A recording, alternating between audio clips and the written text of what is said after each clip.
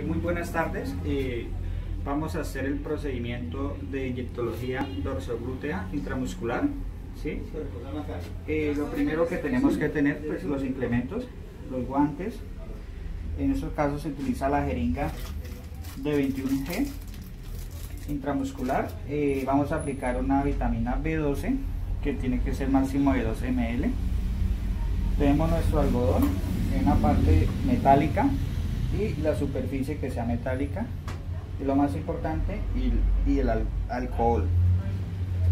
Vamos a utilizar los guantes que sean esterilizados vengan en bolsita. Procedemos a colocárnoslos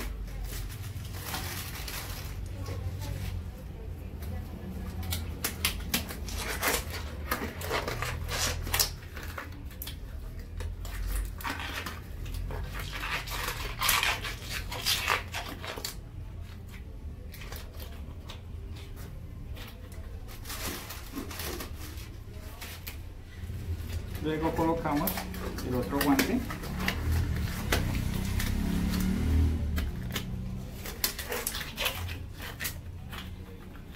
Y. Entonces procedemos a coger la ampolla que sea de 2 ml, verificamos que sea una vitamina y cogemos la jeringa destapamos la jeringa y procedemos a destapar la, ampolla. La ampolla se coge con las dos, con el pulgar, el índice, de esta forma y en la parte de arriba superior se, se esfrota un poquito suave para que ella rompa. Luego procedemos a sacar el líquido a un término así para que él pueda salir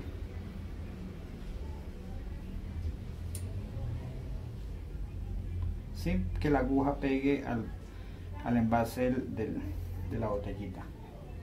Cogemos y tapamos la aguja y le sacamos, verificamos que no queden burbujas de aire, que quede netamente y bien apretado, ajustado la aguja.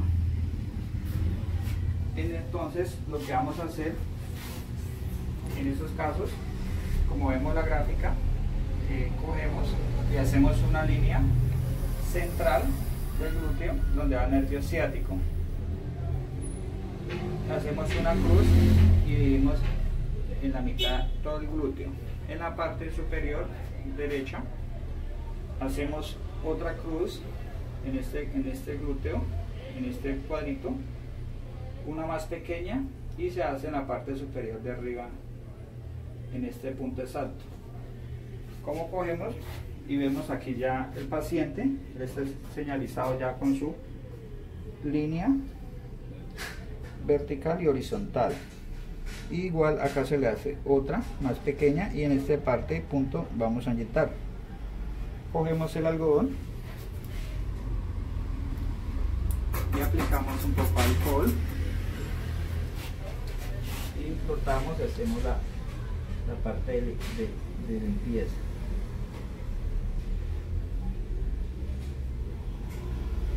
Veamos el algodón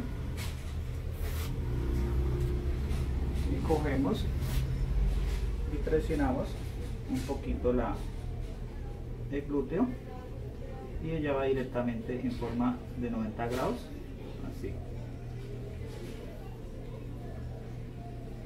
y cogemos y aplicamos lentamente. Aspiramos primero que no haya sangre que no se garrote ningún vasito y así procedemos directamente a aplicarlo. Lo más lento que se pueda porque es una vitamina duele. Y en este caso cogemos el algodón y retiramos la aguja. Verificamos pues que no quedó ningún vasito suelto ni nada y expuesto que se pueda salir ya quedó limpia. Cogemos la aguja rápidamente la tapamos y ella va quitamos el émbolo plástico y va directamente al guardián